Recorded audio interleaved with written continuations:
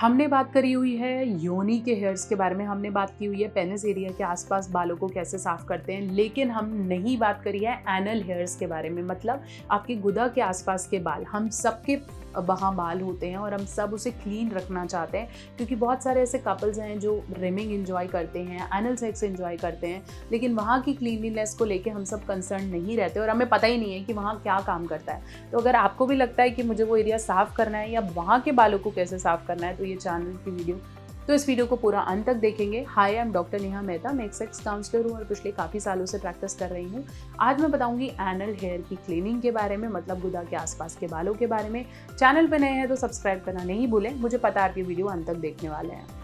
तो चलिए हम बात कर रहे थे एनल हेयर्स की।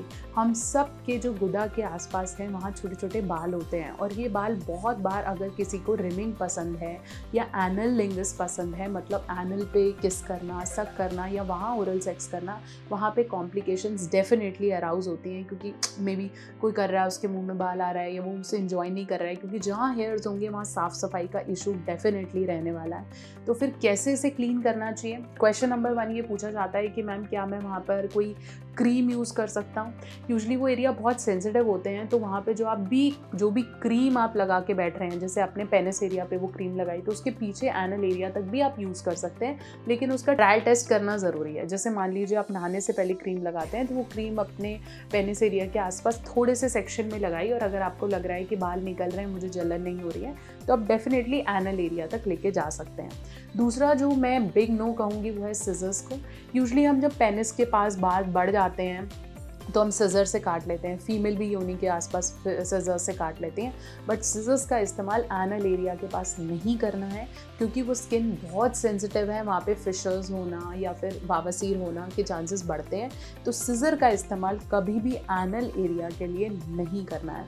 तीसरा ऑप्शन आता है कि मैम मैं वैक्स करा सकती हूँ, क्योंकि नीचे लोग वैक्स कराते हैं which is not a good option for anal hairs fourth question आता है कि मैम क्या मैं वहाँ पर मे बी कुछ रेजर्स का इस्तेमाल कर सकती हूँ तो yes you can use razors for anal sex but razor का भी बहुत सोच समझ के यूज़ करना है, क्योंकि एनल एरिया क्लीन करने के लिए आपको दिखता नहीं है। मतलब यू कैन नॉट सी कि कहाँ बाल हैं, क्योंकि पीछे की तरफ़ है या नीचे की तरफ़ है। तो आप क्या कर सकते हैं, आप चौकड़ी के बैठ सकते हैं मे बी आप अपने वॉशरूम में बैठ सकते हैं।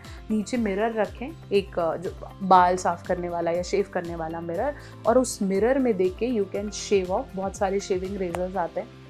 आपको अमेज़ोन पे आराम से मिल जाएँगे जो इंटीमेट शेविंग के लिए होते हैं तो आप उसे आराम से शेव कर सकते हैं। और ये क्या करेगा आपको स्मूद अपेरेंस देगा। साथ साथ अगर आप चाहते हैं कि भाई मुझे आ, शेविंग करनी है या फिर आ, मैं कैसे करूँ तो आपका पार्टनर भी आपके लिए शेव कर सकता है। जैसे आप अपनी वाइफ को या अपने पार्टनर को बोल सकते हैं कि शेव से आप शेवर से आप कर दीजिए तो वो भी आसान है कि रेज़र की मदद से आपने वहाँ पे शेव ऑफ़ कर लिया है। तो ये है एनल एरिया के हेयर्स के बारे में। तो ये कुछ ऐसे हेयर्स नहीं है जिन पे हंसना है, क्योंकि आपके भी है, मेरे भी है, सबके हैं तो it's nothing to be ashamed of हम सब कहीं ना कहीं अपनी ग्रूमिंग और क्लीनलीनेस का ध्यान रखते हैं। सही तरीका क्या है, वो मैंने आपको इस वीडियो में बता दिया है। अगर आप चैनल पर नए हैं तो सब्सक्राइब करना नहीं भूलें। और ऐसी वीडियोज़ के लिए आपको मेरे साथ बने रहना पड़ेगा।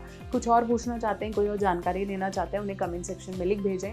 और हमारे जो नए चैनल्स हैं बॉयज़ एंड गर्ल्स उनको डेफिनेटली सब्सक्राइब करें। इंस्टाग्राम फेसबुक पे कनेक्ट करें डॉक्टर नेहा ऑफिशियल